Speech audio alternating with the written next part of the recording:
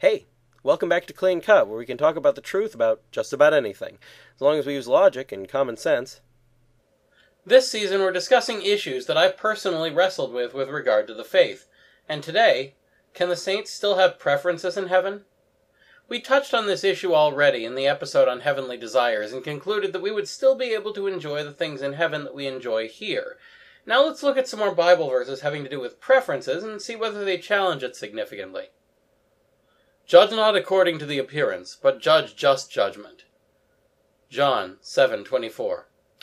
Jesus doesn't say that we should have no preferences here, but only that preferences should not affect our judgment or our sense of justice. That's certainly true. Wherefore, having the loins of your mind girt up, being sober, trust perfectly in the grace which is offered you in the revelation of Jesus Christ, as children of obedience, not fashioned according to the former desires of your ignorance.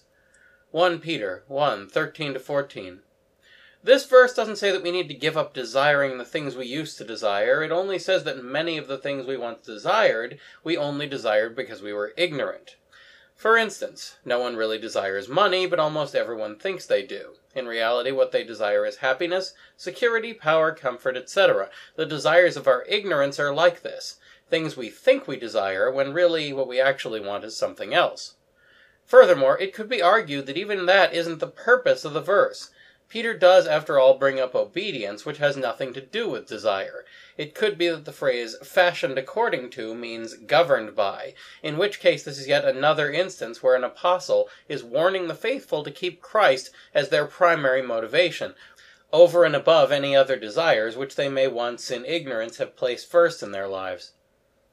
Dearly beloved, I beseech you as strangers and pilgrims to refrain yourselves from carnal desires which war against the soul 1 Peter 2:11.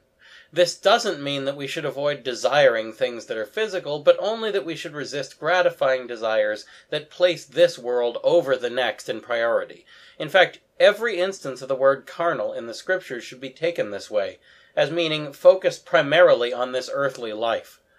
It's also worth noting that in the new heavens and the new earth, things will be just as bodily as they are here, but without the temporary nature that makes the pleasures of this life so futile.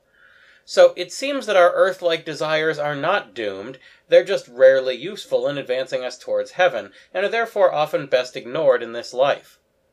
Next, what if a person has a disorder that makes it harder for them to do good and avoid evil?